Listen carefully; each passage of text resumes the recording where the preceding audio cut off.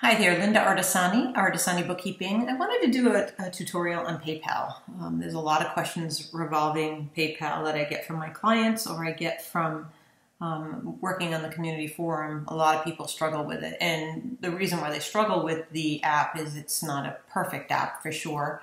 Um, it's very complex. It's very rigid is my best description of it.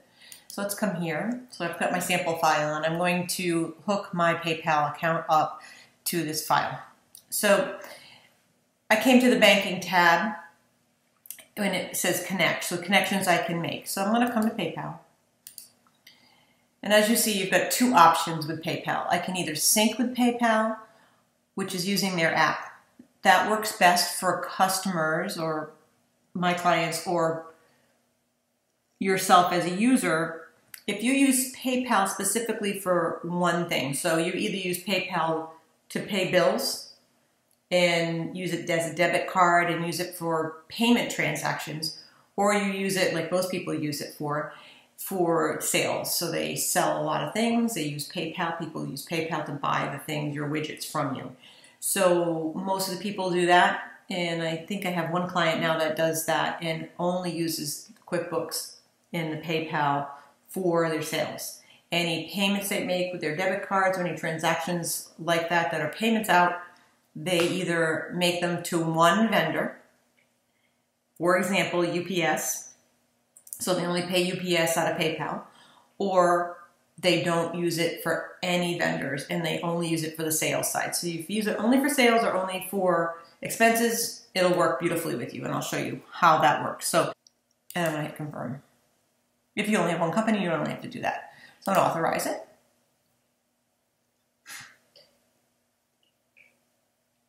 Now setting up my account.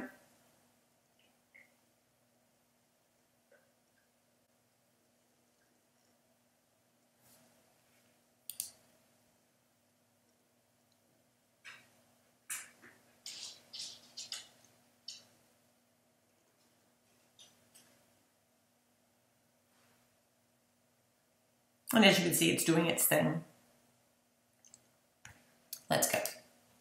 Now we're going to dive into the steps. So it's going to ask me, what's the name of your PayPal account in, in QuickBooks? And it is PayPal.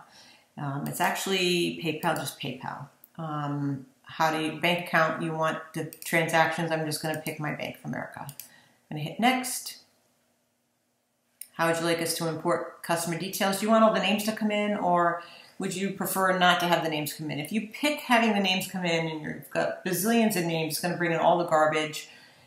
You can log into PayPal to get that. So you probably don't want to put all that garbage into your QuickBooks. So I'm going to say no. And it's really up to you. Would you like to import past data? So here's your choices. Six months, 12 months, or 18 months. Now, what are you going to do if you need four months? If you want four months, you're going to want to you're going to have to delete because there's no way to stop it from bringing in more than what's already there. So this is the thing about it being rigid. It's not really open to doing importing things in the way you'd like to see them come in. They're very it's that's it. Those are your choices, and you're gonna have to go in and delete. If you need four months, your best option six, and you have to delete two months worth of transactions. That can be a nightmare for some people. So I'm gonna hit save. Income account, they wanna call it PayPal income. I just wanna put in the sales income, merchant fees.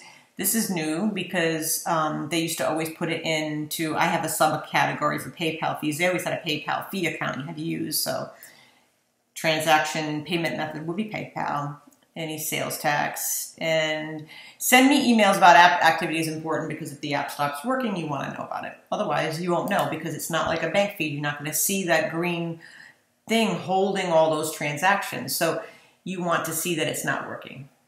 So here you can just review your preferences and then hit connect. Now my PayPal account does not have much happening. Um, I probably use it for a couple of payments and that's about it. I don't really get paid through PayPal. I use the awesome um, QuickBooks Online way of paying, getting payments. But people who sell products, this is actually very common that people use PayPal for. And then it's bringing me back and it's connected. And then I can come into my account and it's connected and I will see the transactions in here connected to my PayPal account. And it will bring in the details. So when you select this, if you're only using it for customers, so if you really need that customer detail, the problem with going with the bank account version of QuickBooks, um, using QuickBooks and PayPal with the bank version is it doesn't bring in all that data. So if I sell a widget for $100 and there's a $10 fee, it doesn't take that $10 off and it doesn't even bring that fee in, the merchant fee in. If you use the app, it does. So if you sell a lot of stuff, I recommend using the app because it'll work in the background. As you can see, it's not connected. It doesn't show with green transactions, so many transactions to be imported in. So it doesn't show that. So you wouldn't know if it stopped working unless you go to reconcile it's not there. But um, I recommend that and then just transfer the money over to your bank account and use your debit card there for your purchases. I highly recommend working with PayPal in that manner. If you have a lot of customers paying you, this way you'll get that nice clean data coming in from PayPal with the sales. If you're using it for both, you can use the bank option for that. However, when you use the bank option for that, sometimes it brings in pending transactions. As you know, with PayPal, there are pending transactions, there's external holds, there's a whole litany of things that come through, and it can make it a little complex when it comes to reconciling. So you got to really watch the pending, don't import them, don't apply them because you'll end up having duplication. Again, it's important to reconcile. Not every transaction flows through in Quick, uh, into QuickBooks from the app or the bank feed one. Why? I don't know. And it seems to be certain transactions do come through, and sometimes the website ones don't come through, or sometimes there's just some random things that don't come through. So be aware of that fact that you will find that happens. So that's it for hooking up QuickBooks Online using the app. I hope that's helpful. Um, it really does work well if you're using it only for sales or only for expenses that's the way it works the best for the app. And I will make another video showing you how to connect with the bank feed.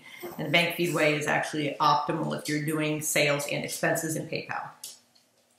Thank you for so much for watching. We'll see you here back next time. Bye now.